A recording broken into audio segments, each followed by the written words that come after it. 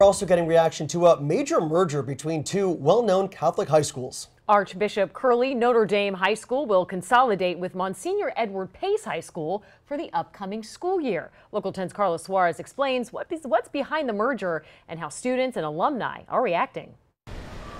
After 63 years, Archbishop Curley Notre Dame High School in Miami will begin a new chapter at another beloved Catholic school. The Archdiocese of Miami announced Monday the school is merging with Monsignor Pace High come fall of 2017. Definitely, it's a necessary but a difficult decision. The Archdiocese said the decision wasn't an easy one. Enrollment at the school has been down for several years, and the campus is in need of upgrades and repairs. Only 229 students attend the school school this year. That's down 43 students from 2015. When you have an enrollment of 229, it's just no longer feasible. It's a, a, a very good school, and it give her a chance to get a little broader education than the I think 100 kids they have now. Current students in good standing will have no trouble getting into Monsignor Pace next year as well as getting to school. The Archdiocese said it's providing bus transportation to the campus in Miami Gardens. Most of them are worried about how far Pace is